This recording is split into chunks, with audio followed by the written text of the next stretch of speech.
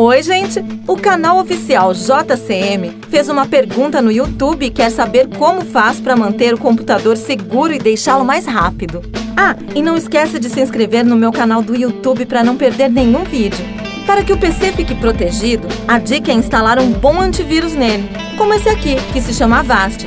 Esse tipo de programa cuida para que sua máquina fique longe de ameaças como os malware, que são softwares que tentam infectar o seu computador, deixando o sistema mais lento, por exemplo. Ou seja, ter um antivírus também vai ajudar o seu computador a ficar mais rápido. Só que eu tenho outros truques para te ensinar, viu?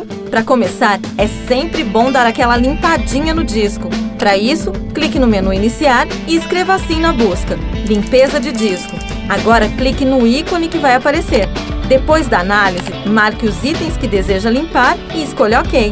Aí é só confirmar e esperar um pouquinho. Outra dica é desinstalar programas que você não usa mais. É assim, no menu Iniciar, vá até o painel de controle, então selecione Programas e Recursos. Agora escolha o programa que você quer desinstalar e clique duas vezes no ícone dele. Depois, clique em Seguinte e então Desinstalar. Espere um pouquinho e uma nova tela vai confirmar que o programa foi excluído. E tem mais! É legal também ver sempre como que está o espaço disponível no PC. E para saber essa informação, é só ir em Computador. Na próxima tela, você vai ver o ícone que representa o seu HD. Aqui, é só ir com a setinha até ele e clicar com o botão direto do mouse. Depois, escolha Propriedades.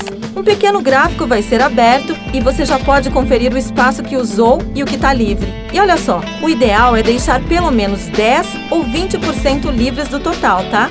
E para facilitar, olha essa dica. Que tal transferir alguns arquivos para a nuvem ou até para um HD externo e assim ficar com um espacinho extra, hein? E sempre que você tiver qualquer dúvida, é só falar comigo nas redes sociais. Use a hashtag LuExplica que eu respondo tudo.